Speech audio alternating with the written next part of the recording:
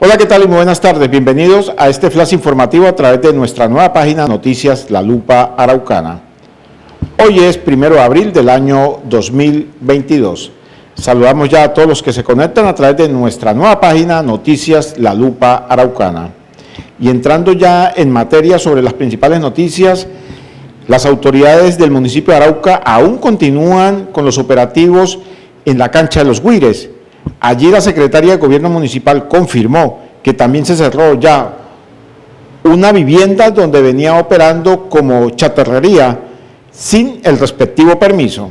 Las autoridades del municipio de Arauca, en cabeza de la Secretaría de Gobierno Municipal, llegaron hasta lo más profundo de la cancha de los Guires, donde allí encontraron varias personas consumiendo sustancias alucinógenas y también cerraron una chatarrería que funcionaba sin ningún permiso. Hoy estamos con la Policía Nacional acompañados por el ejército. La policía tiene varias especialidades. El día de hoy vamos a hacer varias intervenciones.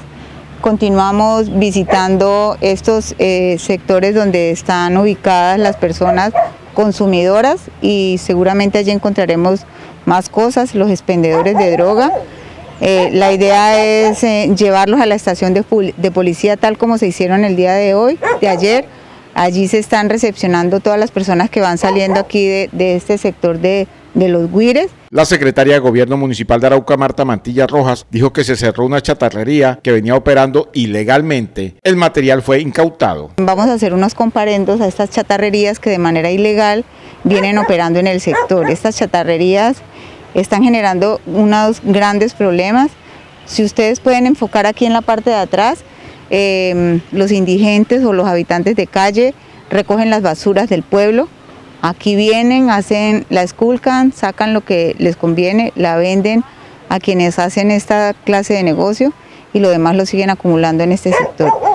No es fácil el proceso que se está haciendo, pero son intervenciones muy importantes que el día de hoy em, muy seguramente este, este negocio va a quedar totalmente sellado y posteriormente procedemos a, incautar todo lo que encontremos. Este ejercicio lo vamos a seguir haciendo durante todo el tiempo de aquí en adelante hacia este sector que es la costa del río y es donde están los mayores sectores donde se ubican los consumidores de droga. Vamos a hacer unas intervenciones y precisamente el día de hoy lo que nos permite es conocer las condiciones en que está el sector para saber qué maquinaria debemos traer y cuánto personal debemos traer para poder quitar toda la maleza, la maleza, que son los lugares donde ellos están escondiendo, donde están consumiendo y que en última son de las guaridas de ellos y de aquí es donde están atacando a la población, que son los vecinos de este sector. La Administración Municipal de Arauca viene trabajando con la nueva empresa de alumbrado público para iluminar la cancha de los Guires. Ya eh, con la nueva empresa de, de, de alumbrado. público. Ya se, ahorita en el mes de abril van a empezar la modernización y las primeras luminarias que se van a cambiar son las que están sobre la costa de, este sector, pero además de ellos ya le hicimos la, la solicitud de varios luminarias que iluminen hacia este sector.